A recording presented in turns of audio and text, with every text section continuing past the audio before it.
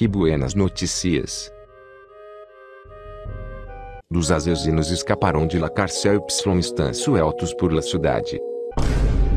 Debo de cerrar las puertas y ventanas. Cierra la puerta.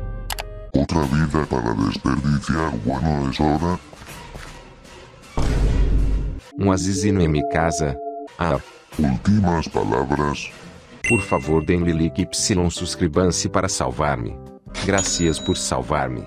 Ahora Biflopa podrá pasar una noche más sin pesadillas. Empecé a jugar